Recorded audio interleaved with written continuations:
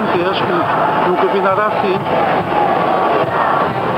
E ainda estão a chegar muitos mais.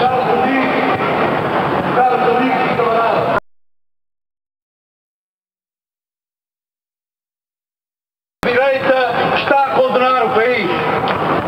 Uma saudação